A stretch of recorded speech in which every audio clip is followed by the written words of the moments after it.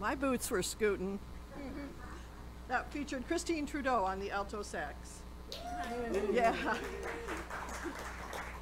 Turning to yet another musical genre, we have Blowin' in the Wind, written by Bob Dylan in 1962.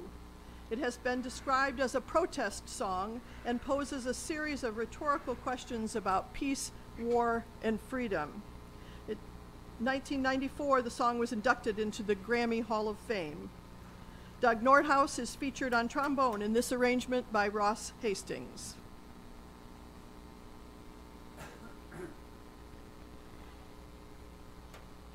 One, two, a one, two, three.